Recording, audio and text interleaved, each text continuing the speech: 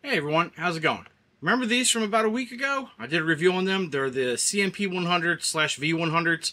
Here's 11 of them. The 12th one is sitting over here on the test bench. Today we're going to go build with it. With this V1 X12 Octominer. Let me get the cover open and we'll take a look at it.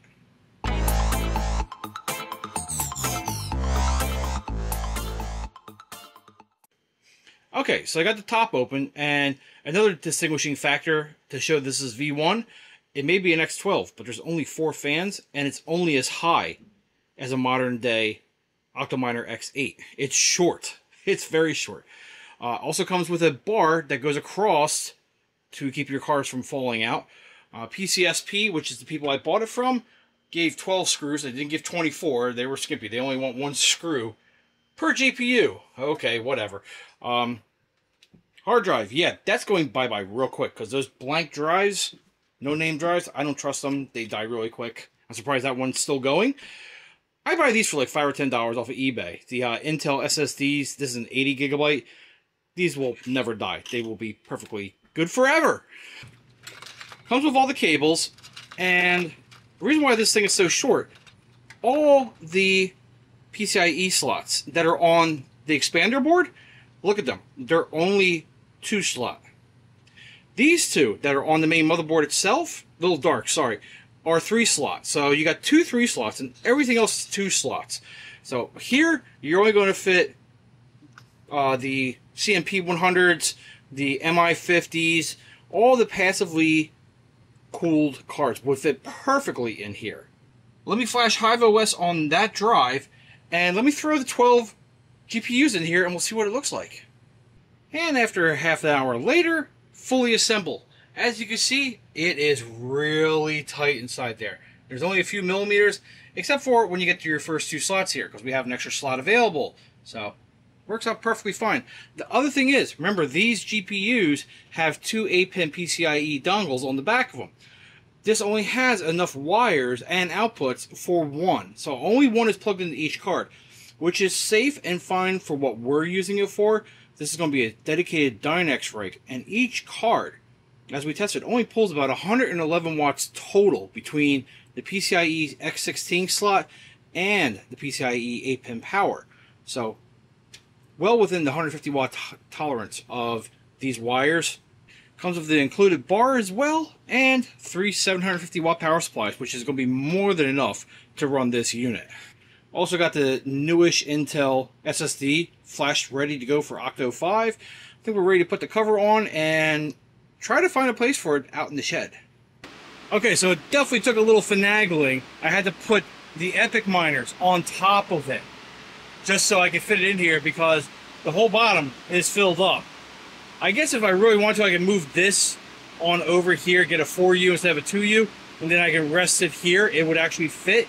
Maybe I'll do that in the future, but for right now, we're going to leave it right where it is. So, it's all wired up. It's all got Ethernet, it's just not turned on. So, if we can get through the reflection here, let's turn it on.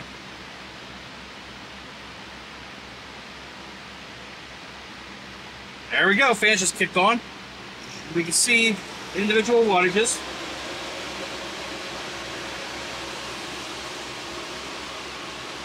This fan rattle for a second, but it seems to be okay. I might be changing a fan in the near future. What do you expect for use? It was $229 shipped to me. You can't really complain. So let's let this boot up and go downstairs and check it out on Hive OS. So here we can see Octo 5 on Hive OS, and there's our 12 Tesla V100 slash CMP 100-210, whatever you want to call them. There they are. Now even with the fans the case fans running at 95% that one 100% this is a very hot day. It is about 96 degrees fahrenheit outside right now. During the summertime i need to ramp them down.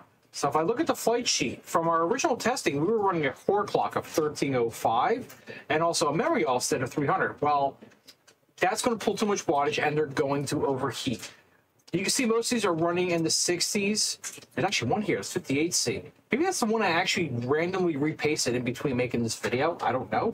There's a 59. There's also this one, 71. This card actually does need a repaste for some because, wow. Um, there was a few days discrepancy between me putting it into the shed and now videoing this part right here.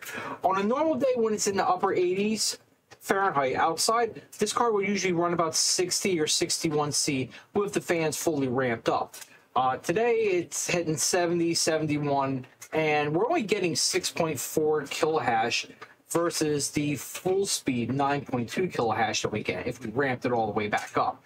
So with these cards, and even in this case, there's going to be cooling issues with this card during the summer.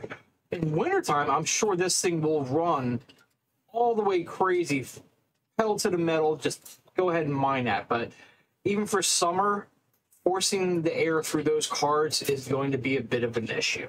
And also, in between recording the original part out in the shed, and now I've also upgraded this from the Pentium that was in it.